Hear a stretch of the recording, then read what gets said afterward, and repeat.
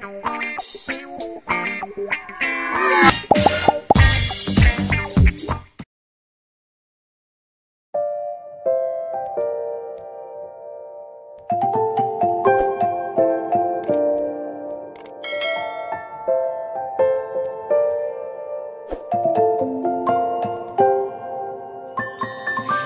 many places still undiscovered that you're stuck in